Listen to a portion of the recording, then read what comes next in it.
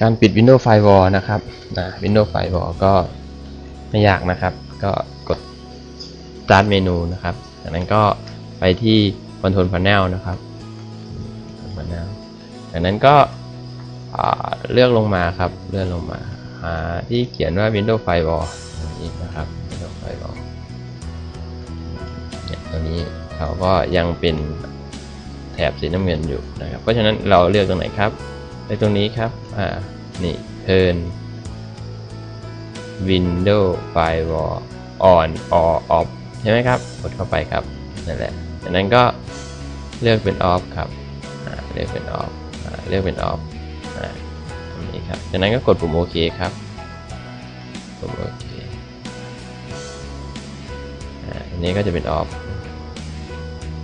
ปิดไปก่อนครับ ปิดไปก่อน นั้นก็ปิด